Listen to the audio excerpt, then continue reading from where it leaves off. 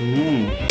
Around the Christmas tree at the Christmas party hop. Mistletoe. Hey, what's up guys? It's your boy Millennial Mark here, smiling back at you for another video. And for today's video, this will be a Pizza Hut mukbang video.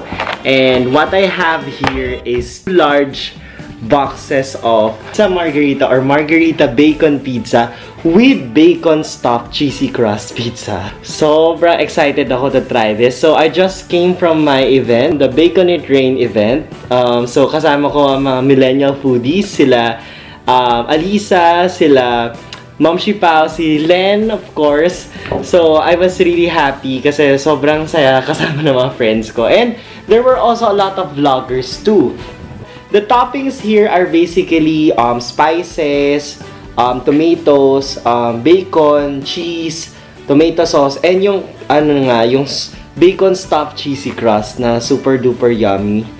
So, yung bacon, to set expectations, yung bacon bits siya. So, nung una, in-expect ko na, ano siya, na, na strip. So, init na natin tong pizza. I'll be right back. Muna tayo.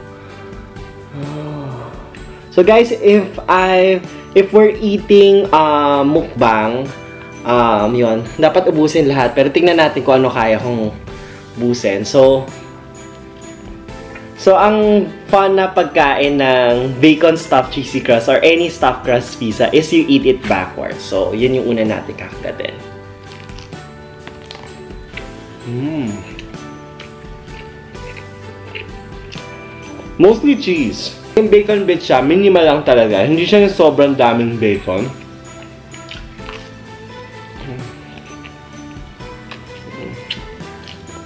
Sarap ng stuff. Mm. Yung stuffed cheesy crust, yung mozzarella niya, very stringy, firm. Tama siyang hot sauce, pero ayoko pawisan. Pero pwede naman tayo mag-hot sauce for the sake of this video, di ba? Lover ka, magugustuhan mo to. Tapos, stuffed crust siya. So, sobrang lahat ka, eh, lalo na kapag kunwari, yung mga um, hindi mahilig sa crust, tinatapon nila. At least this is for you. Mm. natin. Ayan, pakita ko na rin sa inyo yung bacon. Actually, yung bacon bits lang siya. Ayan. Ayan, bacon bits. Sarap kumain.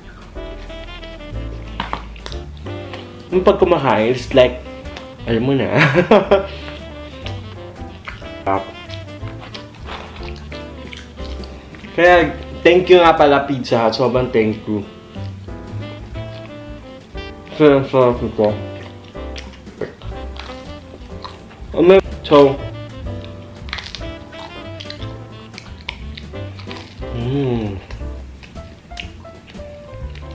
Ang fairness guys, yung stuffed crust niya, it went better. Kasi, mga last years, yung stuffed crust, like kalahati lang ang crust, pero sa punong-puno. Kudos to Pizza Hut. Pero yun lang, kapag kakain ka nito, dapat mainit guys. Kasi honestly, baka sasabihin nyo hindi masarap to. Kasi baka kinain nyo sa malamig. You need to heat everything. Or kapag kunwari, fresh reserve sa inyo, kainin na agad. Take lots of pictures, pero dalian nyo. Kasi, ang pizza hindi siya masarap pag malamig. Yun yun. Parang pag mamahal, hindi na siya masarap pag malamig. Charot. So yun, nakalimutan ko pala. So, verdict ng Pizza Hut. Bacon margarita pizza, okay siyang flavor, unique. Yung tomato sobrang sarap. Bacon stuffed cheese, um, ang ano ko lang, qualms ko lang is maliit lang yung bacon bits. Pero masarap naman, siksik naman yung cheesy stuffed crust. So, yun. So, I highly recommend this if you like cheesy stuffed crust. Pero yung bacon, kung bacon lover ka, um, you might be seeking for more kasi bacon bits lang siya. So, that's it. So, for this, around 3.5 over 5. Yun lang. Like my video, give it a big thumbs up, comment down below what's your favorite moment, and subscribe to my channel. Always remember, smile while eating and traveling. Bye! Although it's been said many times, many ways, Merry Christmas.